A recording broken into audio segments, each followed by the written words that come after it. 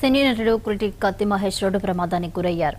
నెల్లూరు జిల్లా కొడవలూరు మండలం చంద్రశేఖరపురం వద్ద ఆయన ప్రయాణిస్తున్న కారు ముందు వెళ్తున్న లారీని వేగంగా ఢీకొట్టింది.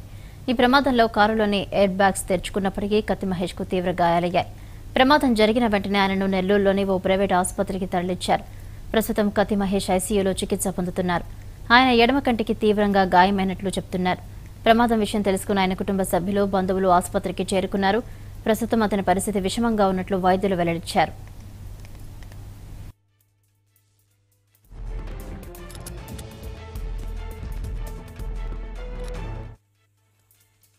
అనే వ్యక్తి అరౌండ్ ఫోర్ ఫార్టీ వన్ ఏఎంకి మన ఎమర్జెన్సీకి తీసుకురావడం జరిగింది.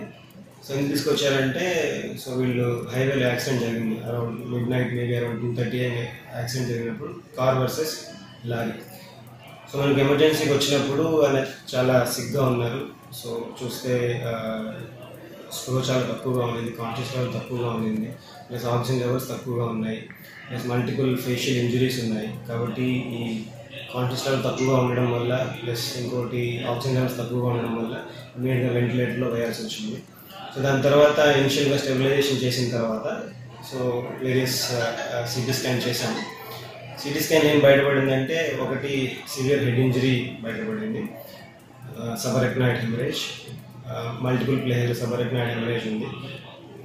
దాని తర్వాత right side eyelid laceration nose avulsion nose laceration multiple facial bone fractures depress fractures ఉన్నాయి.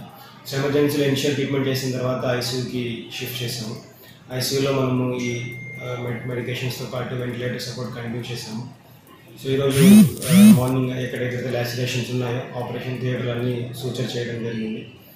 సో ఆయన కండిషన్ ఎక్స్పెక్టెడ్ అవుట్కమ్ ప్రోగ్నోసిస్ అంతా రిలేటివ్స్ ఎక్స్ప్లెయిన్ చేసాము సో ఎక్స్ప్లెయిన్ చేసిన తర్వాత at their own will they decided that they will take them to elsewhere.